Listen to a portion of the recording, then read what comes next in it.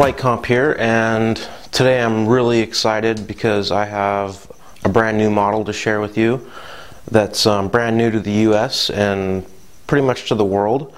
Uh, it's a F5J model from uh, the guys over at Vortex Soaring um, in Europe, and um, to me, it really is the next step in F5J models in terms of design and, and construction. And it's like Christmas in June basically because I'm so excited to uh, get my hands on these things. Um, I was actually following the development of the model for a while uh, on some internet forums, and when Dennis uh, emailed me and asked me if I'd like to, to sell them in the U.S., I was I was super excited, and it's a it's an awesome op opportunity for me and for Flight Comp. Um, anyway, the model is called the Ultima, as you can see right there. And it is a 4 meter wingspan F5J model that's supposed to have a flying weight of under 40 ounces. Um, they, they list on their website that uh, you can get a flying weight of, of about 37 ounces.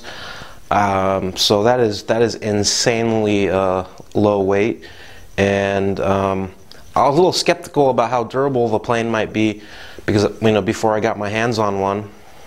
But now we have one here and we can check it out together and, and see if it's uh, super fragile or durable or and uh, all the details about the model. So the thing that makes this airplane really uh, unique to me and, and uh, it makes it truly uh, the next step in um, construction for F5J models is is that it's it's it's the first model I've seen that basically takes F3K or hand launch technology and applies it directly to a larger model um, in all aspects, not just the tail. Um, we've seen machine uh, solid core machine foam tails for a while now, but the entire wing is uh, solid core foam that's machined and then sandwiched in between the molds when when the uh, the wings are laid up, and that just produces a fairly stiff wing that is incredibly light. And um, we'll go over some of the parts here, and we'll give you a closer look. But uh, in general, we can start with uh, a wing the wingtip. Here's a wingtip, and it's uh, solid core foam uh, spread tow carbon skins, um, super light, and uh, I think it has like a G10 machined uh, rib on the end, and it's got uh, tape uh, gap seals, obviously for weight. Um, aileron bay cut out. There is a spar in here. Um, looks like it's some maybe balsa and carbon. Um, the wiring for the for your servos is already installed and it comes like that. Um, you sort of have to fish out this end at the root and then the servo end is in the bay. Pretty narrow wingtips, as you can see. Let's go to the center panel. Center panel looks like a standard center panel you see on a uh, you know, F3J or other F5J models. Um, the interesting thing is it's got a fairly thin airfoil, but maybe not as thin as I would have expected to see on a model this light. Um, again, it looks like it has fiberglass G10 machined uh, ribs, uh, or root ribs, um, tape gap seals, two bolts to hold it down, a recess here for a DB9 connector, and again, uh, the wiring is already pre-installed here for the flap servos and uh, out to the um, uh, root rib for the aileron for the wingtips. The other nice feature is that the slots for the uh, control rods are already cut into the wings, the center panel and the tips, so you don't have to do any guesswork of cutting the channels for the uh, control rods, which on some DLGs you have to actually you know, dig out that channel and it can be a little difficult, so that's nice.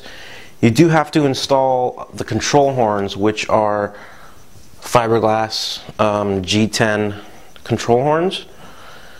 The other interesting thing too is instead of your typical threaded, you know, linkage with um, clevises for your um, servos and surfaces, they just give you solid stainless steel rod and they want you to just make L bends um, in all the control, uh, in all the servos and at the uh, horns on the control surfaces just like you would on a DLG. So that can that can be really tricky to set up because you you don't have the luxury of screwing in clevises and getting your lengths just right. Um, but it it should provide for a very light and stiff setup. So there's a center panel. The fuselage is really nice. Um, the finish on it is spectacular. It's um, made with a bladder that's blown up, like like most fuselages these days. Has uh, aluminum inserts here for the wing bolts, and sort of a pylon-mounted tail, and um, receptacle here for the rudder or the vertical. Push rod for the uh, rudder is already installed, and it doesn't go to the nose. It only goes to the pylon, because in the pylon there's actually some bell cranks um, that drive the surfaces and from the bell crank to the nose you have uh, pull-pull wires which I don't know if you can see but they're taped to the top of the fuselage. Again, all in an effort to reduce as much weight as possible. It looks like a really nice uh, setup, a nice system. And I think they have the system down because they, they use similar things in uh, the, the, original Vortex uh, DLG that they manufactured. So it's just really cool. I mean, this is a really great looking model. Um, sort of has that standard droopy nose um, that you see on most F3J and F5J models. Fuselage, they say they, these weigh about 130 to 140 grams, and it, it is extremely light, but it, it's not it's not super fragile. The boom is, is pretty stiff. Um, the nose feels good. So I wouldn't consider the fuselage super fragile, but it's definitely not, not something you're gonna have, you're gonna want to dork on landings. Um, but for an F5J model, I, I don't think the fuselage would be overly fragile. So that's cool. The tails are really nice. This is the elevator, again, solid core, uh, I think Rohacell uh, machined foam. Um, some kind of like Carboline carbon skins um, one bolt to hold down the uh, elevator it looks like let me just confirm yeah it looks like just one bolt again to keep things light and it has some alignment pins which you don't really see so that's a unique feature control horns pre-installed on the elevator and that goes to the bell crank and that little pylon on the, on the boom on the fuselage um, tape gap seals. Quality on the elevator is really nice. Um, if you're familiar with any modern F3K or DLG model, then you, you will be uh, familiar with the way that the, the finish and the um, construction methods on this Ultima uh, are.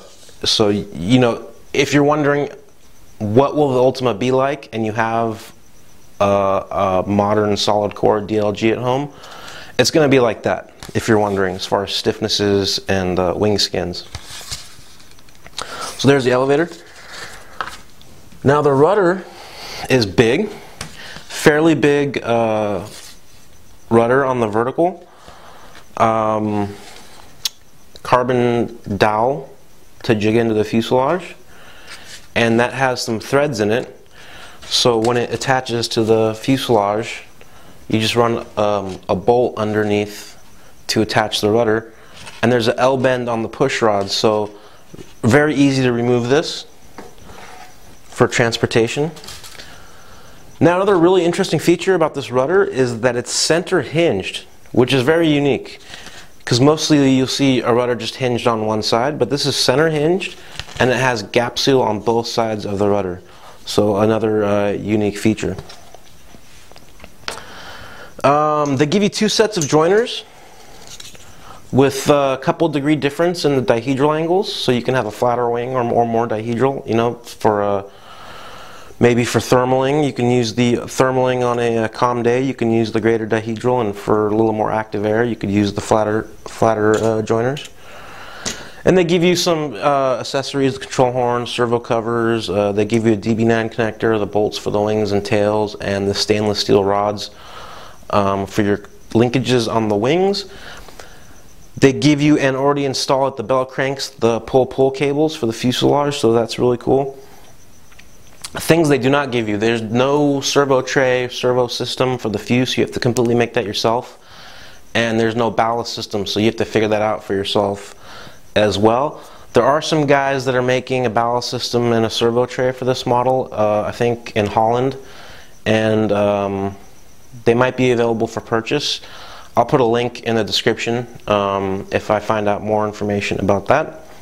Okay, let's get up close and personal with some of the parts on the Ultima. I'll uh, zoom in the camera and give you some uh, detailed shots.